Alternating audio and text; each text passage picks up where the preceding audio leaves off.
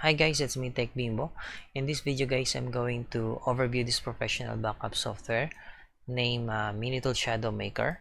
Sa mga hindi pa po nakakalam ng program na ito, ang Shadow Maker guys ay ginagamit pang backup para sa ating computers, system, and uh, data. Kaya napakalaga ng program na to kung ikaw ay mga kung ikaw ay merong mga sensitive file information. Okay? Kasi uh, we do not know kung kailan magka-crash yung system natin and uh, baka magkaroon ng virus infection ng ating mga computer. So, in a simple step, uh, madali lang natin ma-restore ang ating backup gamit ang program na ito. Okay? So, no more intro. Let's dig in. So, from home menu guys, ito yung makikita natin yung setup backup and then uh, manual. Okay? So, dito rin makikita natin yung language settings, pwedeng German and uh, Japanese. So, may help support din dito sa area na to. And then yung update version. And yun, about settings, about versions. Ayan. Okay, so once click natin yung setup backup now, mapupunta tayo sa backup menu. Ayan. So, under backup menu, merong schedule, scheme, options, and backup now and uh, yung source and destination natin. So sa schedule guys, uh, it's up to you kung uh, gusto nyo mag-set ng automatic na siya na yung magba-backup uh, depende sa daily task na gagawin nyo or weekly, monthly or by event. Then, uh, yan. Click nyo lang yung on to start. Okay? Cancel lang natin. And then sa scheme naman, So, dito makikita nyo merong option dito na full, incremental, and differential. So, para ma-activate nyo to guys, just turn it on. Okay, uh, sa full backup guys, uh, ikakopy nyo yung all organizations files. Ito yung pinaka most reliable, secure, and uh, fast restore recover. Okay, unlike sa incremental and differential, uh, parehas silang uh, uh, ginagamit to save more space and time. Pero alternatively, mas uh, more time consuming siya sa pag-restore and searching ng files. Okay? So, cancel lang muna natin to. Maybe on next video, uh, we will try this one. So, sa pag-backup guys, uh, you can uh, leave as default the settings. So, here's the option. Ayan. So, dito, merong option na only use sector backup, sector by sector. File size. File size, yan. Okay. Compression. So, leave as default lang natin tomato. Comment, email, excluding shutdown. So, sa shutdown, kung medyo matagal yung backup nyo, pwede nyo siyang i-check para automatic uh, shutdown nyo yung computer nyo while doing the backup. Then, the password. So, pwede natin lagyan ng security yung backup image natin. So, verification. Ayan. So, cancel lang natin. Okay? So, once nakilig natin itong source, ayan. So, may option dito, disk and partitions and folders and files. So, sa disk and partition, ito yung makikita natin. So, dito, yung disk natin, and ito naman yung partition natin. Ayan. So, kung makikita nyo, naka-check na yung uh, system reserve, system files boot, uh, other option kung gusto nyo siyang uh, i-backup din. So, cancel na natin. Alright guys, uh, destination folder naman, click natin.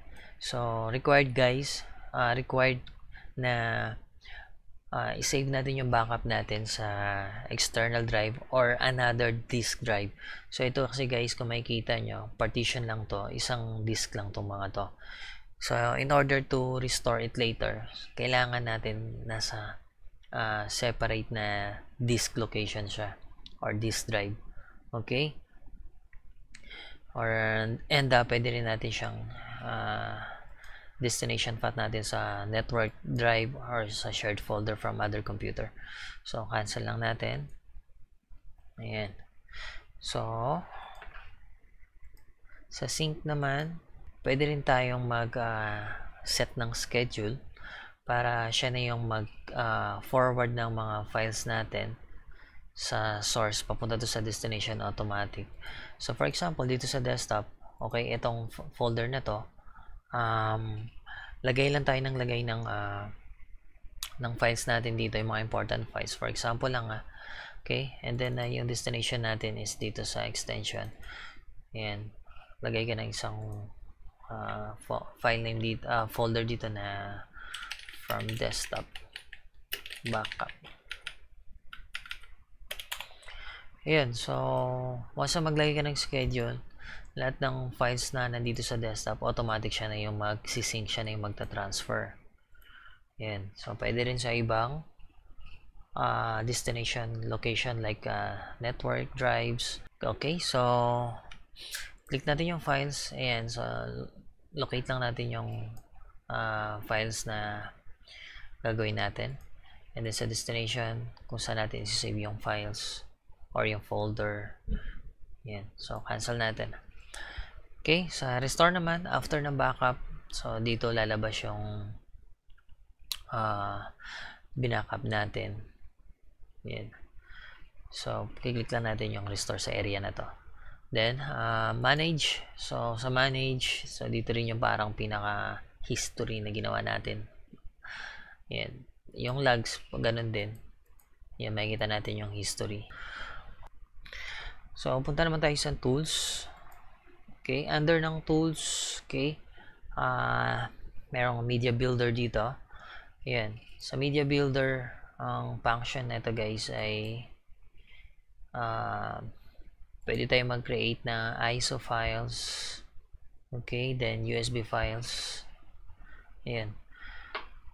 Sa USB files, uh, ginagamit to for in case of emergency mag-crash yung Windows natin. So ito yung isang way para ma-restore natin yung files natin gamit yung uh, ah, USB flash. Okay?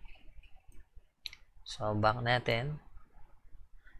So may option dito para sa drivers. So skip lang natin back close Ayan. So, sa admino, okay, sa admino guys, uh, pag open mo ng uh, Windows mo, ng computer mo, uh, bago ka tumuloy sa sa Windows, may lalabas na startup menu doon.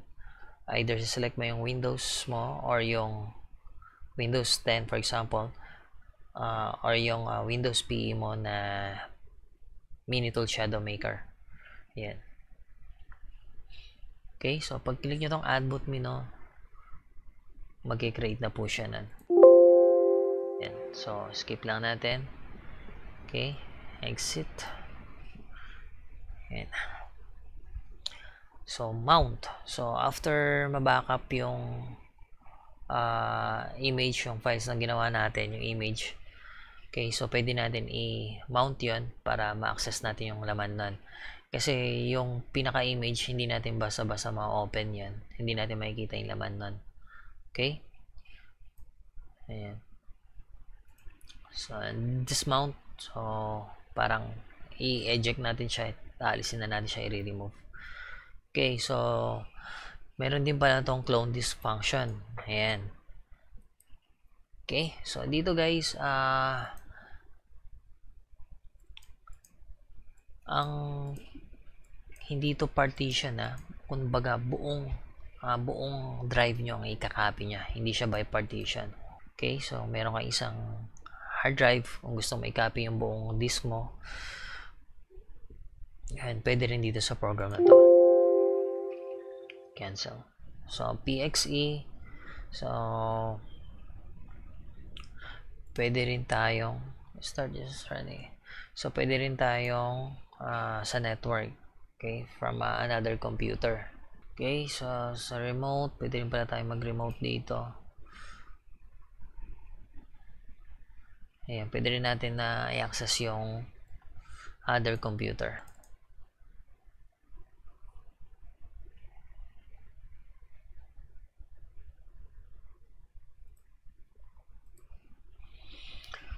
Okay, so sa feedback, yan, pwede tayong mag-send uh, ng uh, pwede tayong mag-send kung meron tayong na-encounter ng mga bugs, problem, or uh, error, something na na may questions ka about this program. Okay?